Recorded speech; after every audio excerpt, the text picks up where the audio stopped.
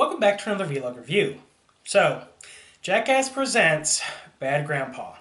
For all of you who haven't shut off the video yet, I actually have surprising news. I thought it was pretty damn funny.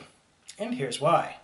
If you liked the vulgarity of Borat, the charm of Little Miss Sunshine, and the classic comedic stylings of the Jackass crew, then you will like this movie.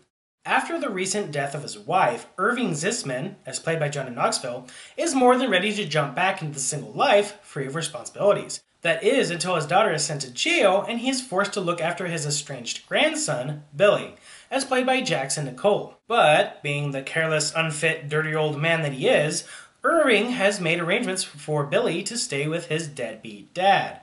The only catch is that Irving has to drive the boy there himself. Now the pair have to embark on a cross-country car ride together and perhaps pull some real-life pranks on a few unsuspecting people along the way.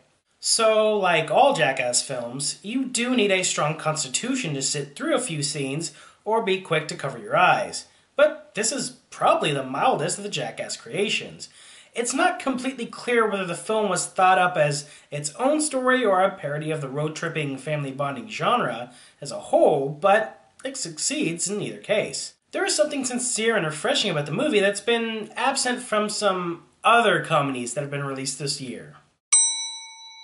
It's after the midway point that the film seems to pick up. The first half of the movie indulges in the self contained ambush sketches, either revolving around the exploits of the grandfather or the kid, but it's when the two start to do their shenanigans together that the film becomes something a little bit more. Despite its rude, crude attitude, Bad Grandpa does develop an endearing story involving horrible, horrible people. I would recommend it for a younger crowd that can enjoy a little bit of randomness in their humor, as well as some genuinely heartfelt scenes. And it probably helps if you're a Johnny Knoxville fan.